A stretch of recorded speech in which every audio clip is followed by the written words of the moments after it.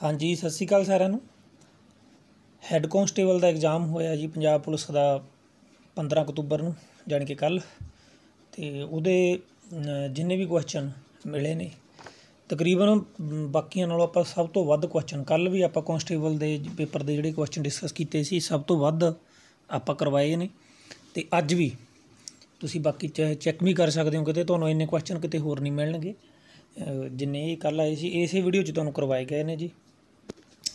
ਬਾਕੀ ਜਿਹੜਾ ਰੀਜਨਿੰਗ ਵਗੈਰਾ ਜਾਂ ਮੈਥ ਵਗੈਰਾ ਦਾ ਮੈਂ ਉਹਨਾਂ ਉਹ ਸਵਾਲ ਯਾਦ ਨਹੀਂ ਬੱਚਿਆਂ ਨੂੰ ਰਹਿੰਦੇ, ਇੰਨਾ ਕੁ ਦੱਸਿਆ ਜਾ ਸਕਦਾ ਵੀ ਕਿਹੜੇ ਟੌਪਿਕ ਤੋਂ ਜ਼ਿਆਦਾ ਕੁਐਸਚਨ ਆਏ ਨੇ, ਜਿਵੇਂ ਬਲੱਡ ਰਿਲੇਸ਼ਨ ਤੋਂ ਬਹੁਤ ਜ਼ਿਆਦਾ ਕੁਐਸਚਨ ਆਏ ਕੱਲ ਠੀਕ ਹੈ ਜੀ ਡਾਇਗਰਾਮ ਵੀ ਕਾਫੀ ਸੀ। ਚਲੋ, ਆਪਾਂ ਹੁਣ ਇਹ ਡਿਸਕਸ ਕਰਦੇ ਹਾਂ, ਜਿੰਨੇ ਵੀ ਸਵਾਲ ਮਿਲੇ ਨੇ। ਤੇ ਕੁਨ ਪਰਬਤਮਾਲਾ, ਇਹ ਪੁੱਛਿਆ ਗਿਆ ਸੀ ਵੀ ਇਹ ਕਿੱਥੇ ਹੈ, ਚੀਨ ਦੇ ਵਿੱਚ ਹੈ। ਠੀਕ ਹੈ ਜੀ, ਦੂਸਰਾ ਕੁਐਸਚਨ ਇਹਦੀ ਫੁੱਲ ਫਾਰਮ ਪੁੱਛੀ ਗਈ ਸੀ ਵੀ ਕੀ ਹੈ ਇਹ ਸਕੀਮ ਦਾ? ਇਹ ਸਕੀਮ ਹੈ ਜੀ ਪੰਜਾਬ ਘਰ ਘਰ ਰੋਜ਼ਗਾਰ ਐਂਡ ਕਾਰੋਬਾਰ ਮਿਸ਼ਨ ਠੀਕ ਹੈ ਜੀ? ਜਿਨ੍ਹਾਂ ਨੇ ਇਹ ਲਾਇਆ, ਉਹਨਾਂ ਦੇ ਨੰਬਰ ਪੱਕਾ ਹੋ ਗਿਆ। ਤੇ ਅਗਲੀ ਇਹ ਸਕੀਮ ਹੈ, ਇਹਦਾ ਨਾਮ ਮਹਾਤਮਾ ਗਾਂਧੀ ਸਰਬੱਤ ਵਿਕਾਸ ਯੋਜਨਾ। ਠੀਕ ਹੈ ਜੀ?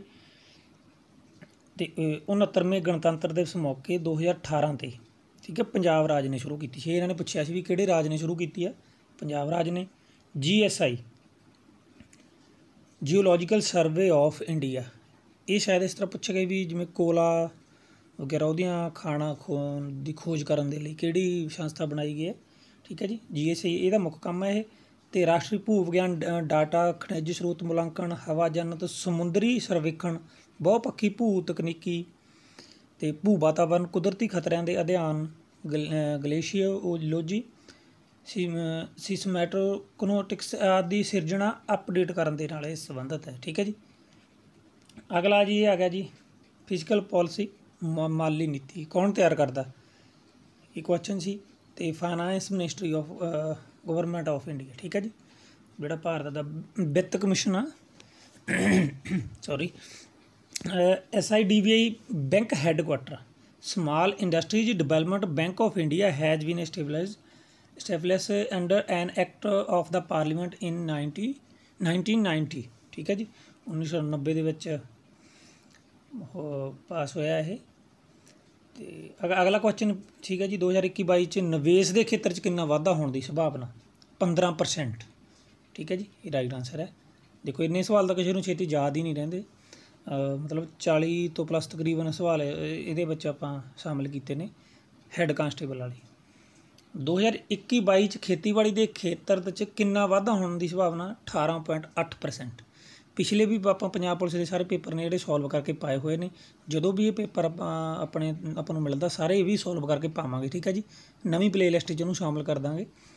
ਤੇ ਪਹਿਲਾਂ ਵਾਲੇ ਵੀ ਤੁਸੀਂ ਦੇਖ ਸਕਦੇ ਹੋ ਟੈਲੀਗ੍ਰਾਮ ਨੂੰ ਜਰੂਰ ਜੁਆਇਨ ਕਰ ਲਿਓ। ਸਾਰੇ ਕੁਐਸਚਨ ਤੁਹਾਨੂੰ ਟੈਲੀਗ੍ਰਾਮ 'ਚ ਸੈਂਡ ਕਰ ਦਿਆਂਗੇ। ਡਿਸਕ੍ਰਿਪਸ਼ਨ 'ਚ ਲਿੰਕ ਦਿੱਤਾ ਹੋਇਆ। ਦੁਨੀਆ ਦਾ ਸਭ ਤੋਂ ਉੱਚਾ ਰੇਲਵੇ ਪੁਲ ਜੋ ਚਨਾਬ ਨਦੀ ਤੇ ਬਣਿਆ ਹੋਇਆ, ਠੀਕ ਹੈ ਜੀ? ਚਨਾਬ ਤੇ ਬਣਿਆ ਹੋਇਆ, ਉਹਦੀ ਉਚਾਈ ਕਿੰਨੀ ਹੈ 259 ਮੀਟਰ ਉਹਦੀ ਉਚਾਈ ਹੈ ਜੀ। ਅਗਲਾ ਕੁਐਸਚਨ ਸੀਗਾ ਜੀਕੇ ਤੋਂ।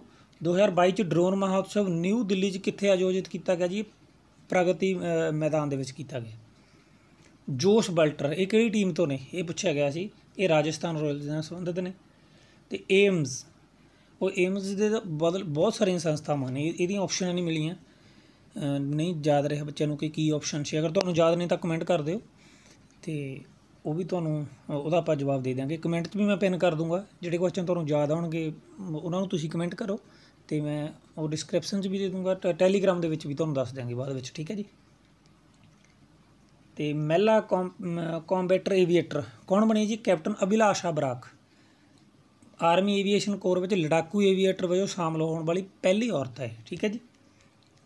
ਤੇ ਸੋਧ, ਸੋਧਾਂ ਤੋਂ ਤਿੰਨ ਕੁਐਸਚਨ ਆਏ ਸੀਗੇ। 105ਵੀਂ ਸੋਧ ਜਿਹੜੀ ਇਹ ਕਹਿੰਦੇ ਕਿਹਦੇ ਨਾਲ ਸੰਬੰਧਿਤ ਹੈ, ਸਮਾਜਿਕ ਵਿਦਿਅਕ ਤੌਰ ਤੇ ਪਛੜੀਆਂ ਸ਼੍ਰੇਣੀਆਂ ਦੇ ਨਾਲ ਇਹਨੇ ਸੂਚੀ ਤਿਆਰ ਕਰਨ ਲਈ ਰਾਜ ਸ਼ਕਤੀਆਂ ਦੀ ਰਾਜ ਸਰਕਾਰਾਂ ਦੀ ਸ਼ਕਤੀ ਨੂੰ ਬਹਾਲ ਕੀਤਾ ਗਿਆ।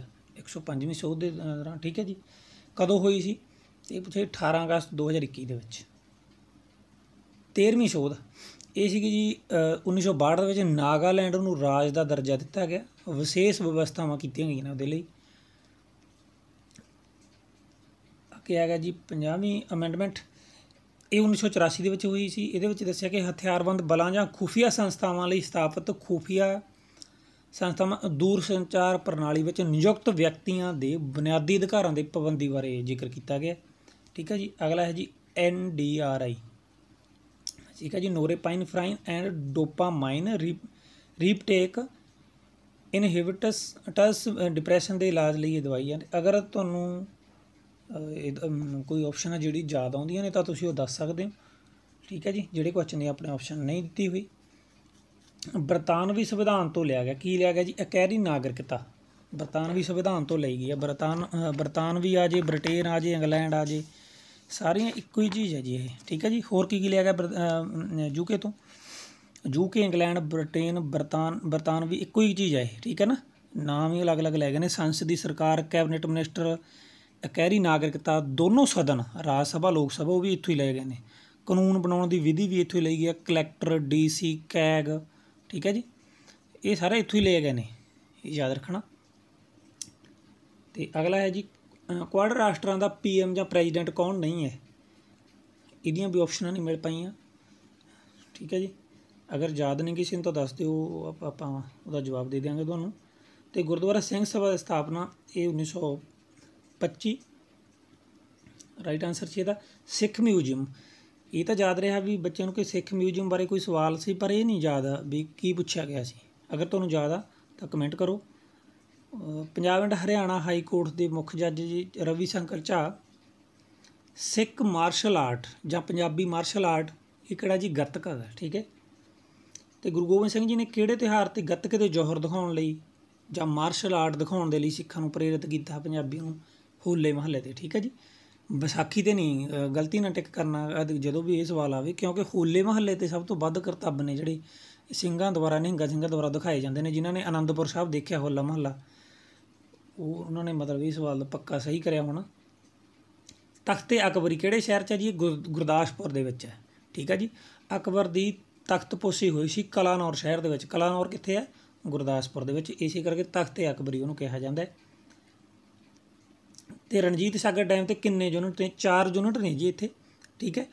ਤੇ ਇਹ ਪ੍ਰੋਜੈਕਟ ਹੈ ਜਿਹੜਾ ਮਾਧੋਪੁਰ ਹੈੱਡ ਵਰਕਸ ਤੋਂ ਲਗਭਗ 24 ਕਿਲੋਮੀਟਰ ਉੱਪਰ ਰਾਵੀ ਦਰਿਆ ਤੇ ਸਭ ਤੋਂ ਵੱਡੇ ਬਹੁਮੰਤਵੀ ਨਦੀ ਪ੍ਰੋਜੈਕਟਾਂ ਵਿੱਚੋਂ ਇੱਕ ਹੈ। 600 ਮੈਗਾਵਾਟ ਦੀ ਕੁੱਲ ਸਥਾਪਿਤ ਸਮਰੱਥਾ ਦੇ ਨਾਲ 150 ਮੈਗਾਵਾਟ ਦੇ ਚਾਰ ਉਤਪਾਦਨ ਯੂਨਿਟ ਨੇ ਇੱਥੇ, ਓਕੇ ਜੀ? ਹੋਰ ਵੀ ਮੈਂ ਜਾਣਕਾਰੀ ਸ਼ਾਮਲ ਇਹਨਾਂ ਨਾਲ ਕੀਤੀ ਹੈ, ਕਿਉਂਕਿ ਕਈ ਵਾਰੀ ਮਿਲਦੇ ਜੁਲਦੇ ਸਵਾਲ ਦੂਜੇ ਪੇਪਰਾਂ 'ਚ ਆ ਜਾਂਦੇ ਨੇ, ਜਿਵੇਂ ਹੁਣ ਫੇਸਬੁੱਕ ਤੋਂ ਫੇਸਬੁੱਕ ਤੋਂ ਤਿੰਨਾਂ ਪੇਪਰਾਂ ਦੇ ਵਿੱਚ ਹੀ ਸਵਾਲ ਆਇਆ। ਕੱਲ ਹੈੱਡ ਕਾਂਸਟੇਬਲ 'ਚ ਵੀ, ਦੋਨੋਂ 'ਚ ਸਵੇਰੇ ਵੀ ਆਇਆ, ਸ਼ਾਮ ਨੂੰ ਵੀ, ਦੋਨਾਂ ਸ਼ਿਫਟਾਂ 'ਚ। ਔਰ ਕਾਂਸਟੇਬਲ 'ਚ ਵੀ ਆਇਆ ਸੀ। ਤੇ ਅੱਜ ਸਬ ਇੰਸਪੈਕਟਰ ਦਾ ਪੇਪਰ ਉਹਦੇ 'ਚ ਵੀ ਆਉਣ ਦੀ ਸੰਭਾਵਨਾ, ਉਹ ਵੀ ਆਪਾਂ ਮਤਲਬ ਸੋਲਵ ਕਰਕੇ ਪਾਵਾਂਗੇ ਸ਼ਾਮ ਤੱਕ। ਠੀਕ ਆ, ਆਪਾਂ ਨੂੰ ਕੋਈ ਇਹ ਵਿਊਜ਼ ਦੀ ਲੈਣ ਦੀ ਜਲਦੀ ਨਹੀਂ ਹੁੰਦੀ ਵੀ ਬੱਚੇ ਸਰਚ ਕਰਨਗੇ, ਫਟਾਫਟ ਆਪਾਂ ਅਪਲੋਡ ਕਰੀਏ। ਜੀ ਨਹੀਂ, ਆਪਾਂ ਨੂੰ ਇਹ ਹੁੰਦਾ ਵੀ ਜ਼ਿਆਦਾ ਤੋਂ ਜ਼ਿਆਦਾ ਕੁਐਸਚਨ ਕਰਵਾਏ ਜਾਣ। ਇਸੇ ਕਰਕੇ ਵੀਡੀਓ ਥੋੜੀ ਜੀ ਲੇਟ ਵੀ ਹੋ ਗਈ। ਖੂਨੀ ਵਿਸਾਖੀ ਰਚਨਾ ਜੀ ਨਾਨਕ ਸਿੰਘ ਦੀ। ਤੇ ਬਾਰੀ ਤੇ ਬਿਸਤ ਦੁਆਬ ਨੂੰ ਕਿਹੜੀ ਨਦੀ ਵੱਖ ਕਰਦੀ ਹੈ? ਰਾਵੀ ਰਾਵੀ ਨਦੀ ਮਾਝਾ। ਇਹਦੇ ਪੁੱਛਿਆ ਵੀ ਮਾਝਾ ਡਿਸਟ੍ਰਿਕਟ ਮਾਝਾ ਦੇ ਵਿੱਚ ਕਿਹੜੇ ਕਿਹੜੇ ਜ਼ਿਲ੍ਹੇ ਨੇ? ਠੀਕ ਹੈ ਜੀ, ਇਹ ਇਹ ਚਾਰੋਂ ਜ਼ਿਲ੍ਹੇ ਉਹਦੇ 'ਚ ਅੰਮ੍ਰਿਤਸਰ, ਤਰਨਤਾਰਨ, ਗੁਰਦਾਸਪੁਰ ਅਤੇ ਪਠਾਨਕੋਟ। ਪੜਨਾਮ, ਕਿਹੜਾ ਪੜਨਾਮ ਹੈ? ਤੁਸੀਂ ਤੁਸੀਂ ਇੱਕ ਪੜਨਾਮ ਹੈ, ਇਹ ਆਪਸ਼ਨ ਦੇ ਵਿੱਚ ਵੀ ਸੀ। ਤੇ ਪਲਿੰਗ ਚੁਣੋ।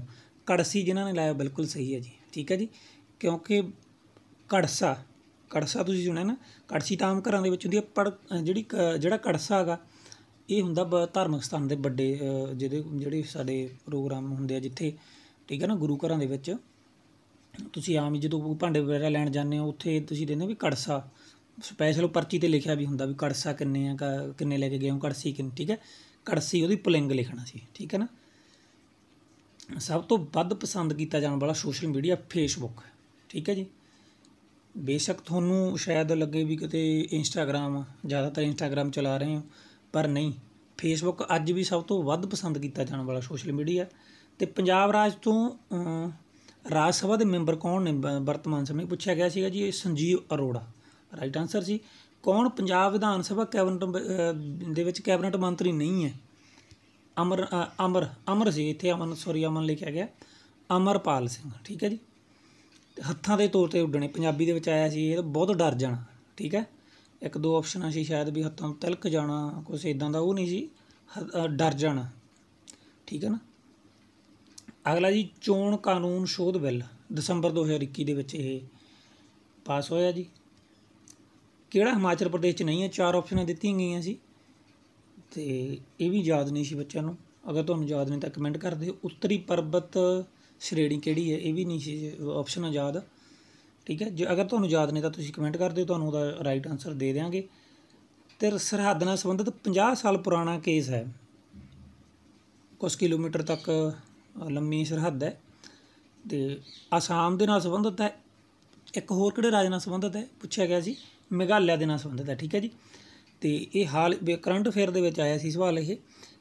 ਤੇ ਇਹਦੇ ਵਿੱਚ 50 ਸਾਲ ਪੁਰਾਣੇ ਸੀਮਾ ਵਿਵਾਦ ਨੂੰ ਸੁਲਝਾਉਣ ਲਈ ਰਾਸ਼ਟਰੀ ਰਾਜਧਾਨੀ, ਜਾਣੀ ਕਿ ਦਿੱਲੀ ਦੀ ਦੇ ਵਿੱਚ ਇੱਕ ਸਮਝੌਤੇ ਦੇ ਸਾਈਨ ਕੀਤੇ ਗਏ ਨੇ, ਇਸੇ ਕਰਕੇ ਉਹਨਾਂ ਨੇ ਸਵਾਲ ਇਹ ਚੱਕਿਆ। ਸੋ ਠੀਕ ਹੈ ਜੀ। ਸੋ ਇੰਨੇ ਕੇ ਕੁਐਸਚਨ ਸੀਗੇ ਸਾਰੇ। ਅੱਜ ਵਾਲਾ ਪੇਪਰ ਵੀ ਆਪਾਂ ਸ਼ਾਮ ਜਲਦੀ ਅਪਲੋਡ ਕਰ ਦਿਆਂਗੇ ਤੇ ਪੁਰਾਣੇ ਪੇਪਰ ਤੁਸੀਂ ਜਾ ਕੇ ਦੇਖ ਸਕਦੇ ਹੋ। ਪਲੇਲਿਸਟ ਦੇ ਵਿੱਚ ਆਪਣੇ ਬਾਕੀ ਵੀਡੀਓ ਬਾਕੀ ਪੇਪਰਾਂ ਦੇ ਲਈ ਪਈਆਂ ਨੇ, ਉਹ ਵੀ ਤੁਸੀਂ ਲਾਜ਼ਮੀ ਚੈੱਕ ਕਰਨੀ ਹੈ ਧੰਨਵਾਦ।